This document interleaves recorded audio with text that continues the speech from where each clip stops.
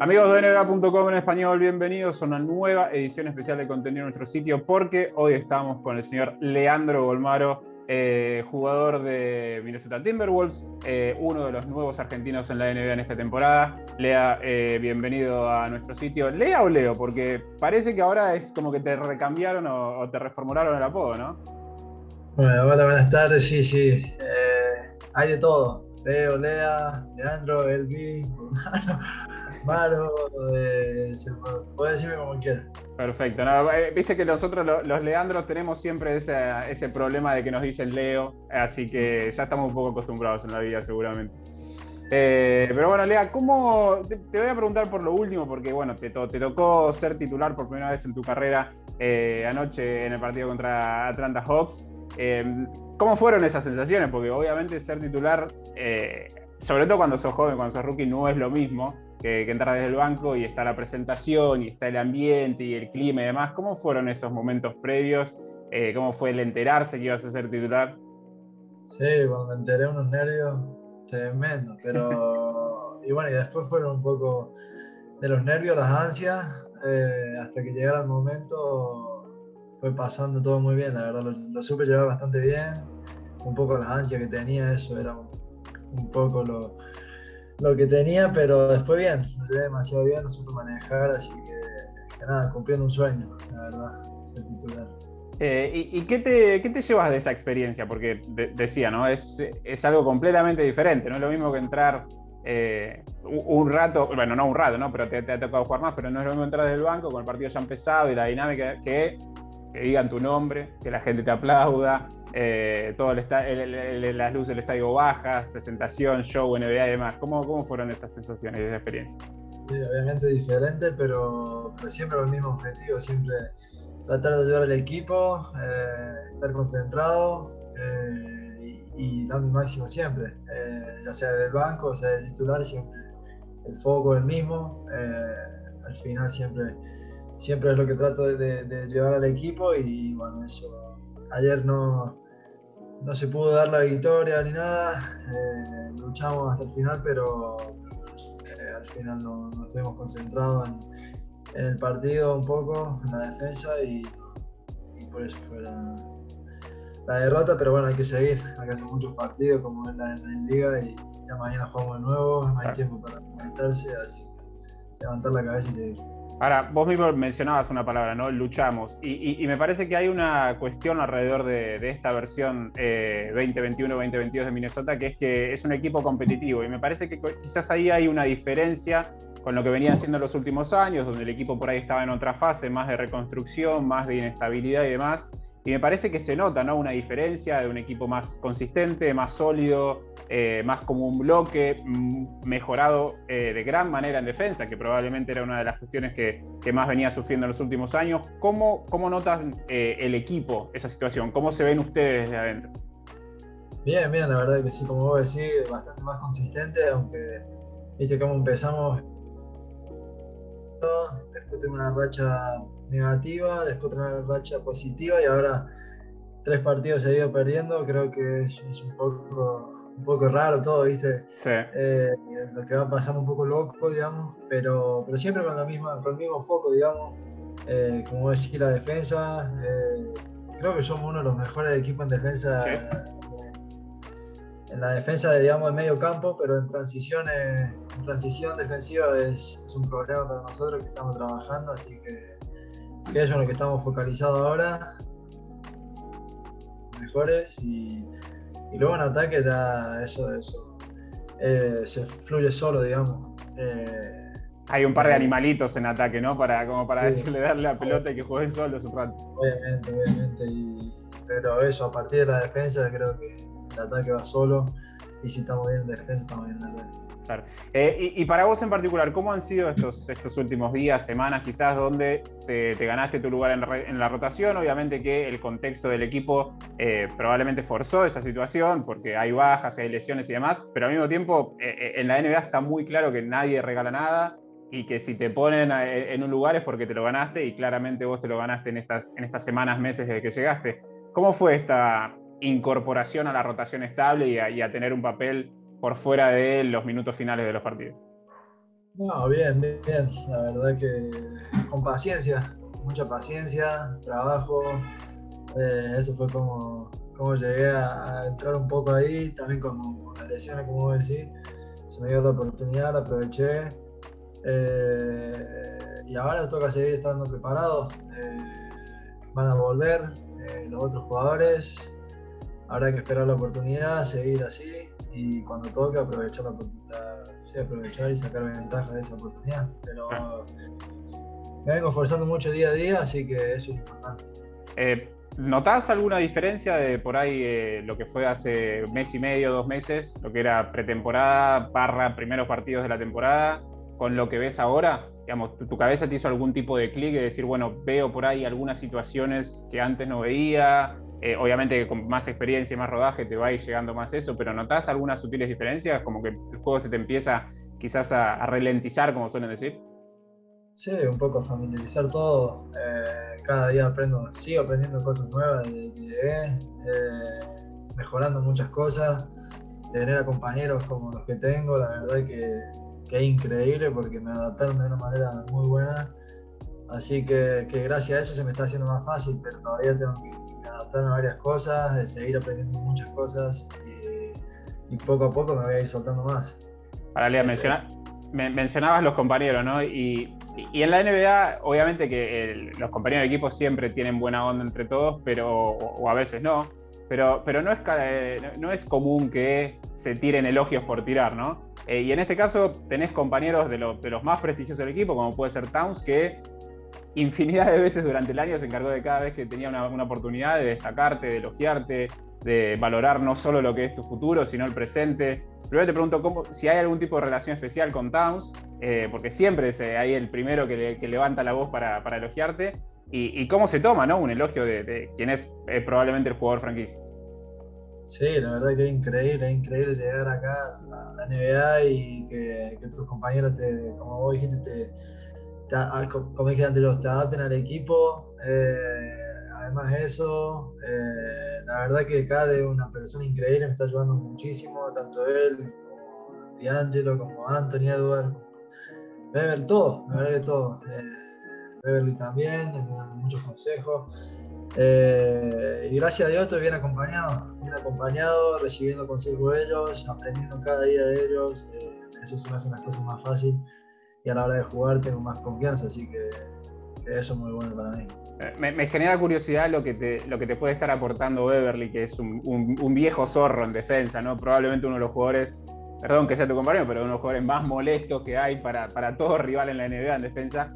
Y, vos te estás ganando tu lugar a partir de, esa, ese rol, ¿no? Del, ser intenso en defensa, entregarse al 100% en cada segundo. Eh, ¿Cómo es ese, ese aporte que te puede dar Beverly que tiene bastantes batallas de, sobra en el lomo. No, bien, la verdad que antes de cada partido siempre, ahora que estoy jugando, ahora que estoy entrando a rotación, me dice este, fíjate que hace esto, este, hacele eso, este, ¿viste? Ya, sabe todo, ya sabe lo que hace el otro. Entonces me da siempre un consejo para, la hora de defender estar y saber lo que, va, lo que puede llegar a hacer y estar preparado. Así que no, yo re agradecido de tenerlo en el equipo eh, y aprendiendo muchísimo de eso. Lea, en, estos partidos, eh, como parte bien estable de la rotación, eh, incluso en el partido de ayer, te ha tocado. Te han tocado algunos monstruitos, ¿viste? tuviste momentos contra un tal James Harden, ayer momentos contra, contra Trey Young. Eh, de todos los rivales que por ahí tuviste así, enfrentamientos puntuales en sí, ¿hay alguno que te haya sorprendido por, la calidad de, jugador, por algún movimiento? Eh, alguno que te haya por ahí deslumbrado o, te encontraste con algo que no sabías o que no esperabas de ellos, incluso siendo tan conocidos? Sí, a ver, todos los que jugué, la verdad que fue, fue increíble. Yo hasta que no pasó el partido no podía creer que lo haya defendido ni, nada de eso, eh, pero todos, todos ellos me llamaron la atención, hasta, hasta Joel Embiid que jugamos la otra vez que metió 45 puntos, fue algo increíble verlo. Eh, jugar en contra de él. Pero, pero bueno, también hay que estar ahí, hay que hacerse presente, defender y tratar de hacer lo mejor posible, así que eso intenté hacer. Eh, Lea, desde que, desde que llegaste a la NBA seguro te fuiste encontrando con un montón de situaciones, eh, cuestiones a conocer, cuestiones por conocer todavía. Eh, de lo que te imaginabas. ¿Qué, te encontraste? Eh, o, por ahí, si es que superó todo lo que, por ahí imaginabas que te ibas a encontrar, hay algo que te haya deslumbrado, no solo en el juego en sí, ¿no? sino por ahí también afuera de la cancha, de que es un mundo completamente único la NBA. ¿Cómo, vivís esa situación? Sí, todo, todo. Todo, todo nuevo para mí. Eh, las instalaciones me sorprendieron mucho, una locura lo que es personal, la gente de trabajo también, siempre a tu disposición. Eh, y, bueno, después eh, a la hora de, jugar ya, ya sabes lo que tenés todo, tenés todo. Ellos te dicen el scouting, tenés todo. Ya sabes lo que hacen, ya, ya sabes qué tenés que hacer, sabes que tenés que cumplir, sabes que tenés que estar concentrado en tal cosa. Entonces eso la verdad que me sorprendió muchísimo, eh, cómo te facilitan las cosas y que estén siempre a tu disposición. Y después, bueno, vivir acá en Estados Unidos es muy diferente. Eh, me estoy acostumbrando, pero también me gusta mucho, así que estoy bien, estoy bien, gracias a Dios, estoy contento, eh, disfrutando y aprovechando el, el, momento.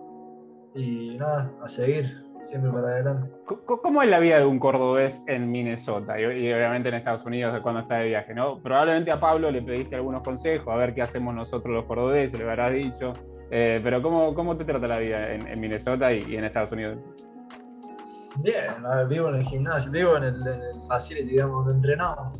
La mayoría del tiempo estoy ahí, estoy toda la mañana, hasta el mediodía, hasta las 3 por ahí, después me casa y ya llego acá cansado, así que o duermo, me pongo a jugar a la play, o hago una, una vuelta, aunque ahora está lleno de nieve. Ahora viene el frío, chavo, hay que guardarse. Gracias. Pero si no, bueno, también hago cosas con algunos compañeros del equipo. Eh, depende, depende, pero así, básicamente el centro de entrenamiento. Ahora, eh, Lea, por Pablo seguramente te han preguntado desde que llegaste un, millón de veces, pero te pregunto, ¿qué, descubriste vos de Pablo eh, viéndolo en el día a día, de cómo es la percepción del entorno alrededor de Pablo, ¿no? de cómo lo ven a Pablo como probablemente un embajador sumamente importante de la NBA, porque por ahí nosotros en el día a día, por ahí se pierde, ¿no? De decir, bueno, hay un argentino como asistente principal de, un equipo NBA y parece algo de todos los días. Y sin embargo, eh, está claro que Pablo se ha ganado una reputación y un respeto en ese entorno. ¿Cómo lo ves vos desde adentro que tenés la chance de vivir esa situación? Sí, obviamente, obviamente. Todos los jugadores le tienen muchísimo respeto a él. Eh, lo que él dice, todos siempre están pendientes a lo que, él dice. Cualquier consulta que necesitan, le van a él y se la dicen. Eh, así que es increíble, eso es increíble. Para mí tener a Pablo como asistente me ayuda muchísimo también eh, a la hora de, entrenar, a la hora de, Al principio tampoco entendía mucho las cosas, entonces tenerlo a él me, ayudó muchísimo. Eh, y también lo que es afuera del básquet, también poder juntarme a comer con él, a cenar con él, es un, un verdadero placer para mí, así que contento. Contento y agradecido de eso. Sí, sin lugar a dudas. Em, cuando, cuando viajas en el tiempo, ¿no? Y, ves lo que fue por ahí Draft 2020, seleccionado, pero de manera remota, eh, donde todo era incertidumbre, ¿no? Porque estábamos en un momento de, la vida, no solo de, lo que es llegar a la NBA en sí, era un momento de incertidumbre absoluta a nivel mundial. Eh, si tu, tu, cabeza viaja en el tiempo y ves ese momento y hoy te encontrás acabando de terminar tu primera titularidad en la liga, siendo parte de la rotación de tu equipo, ya establecido, bien en el grupo y demás. ¿Qué, qué ves de todo ese viaje? Eh, y desde el draft, decimos. Sí. Y un gran cambio, un gran cambio. Eh, para bien. Eh, porque yo la verdad que cuando llegué no pensé que iba a, después de 20 partidos poder tener la oportunidad de entrar a la rotación y bueno, pero eso me lo gané el esfuerzo. Eh, desde que llegué, el primer día que llegué hasta hace unos días, todos los días hice gimnasio, eh, todos los días entrené con Pablo, no, tuve un día libre, así que también gracias a eso. Eh, me preparé muy bien en la pretemporada también y, gracias a eso, ahora que tuve la oportunidad, lo aproveché, si no, no, no sé si lo hubiera aprovechado. Eh, y como dije antes, ahora los otros van a volver también.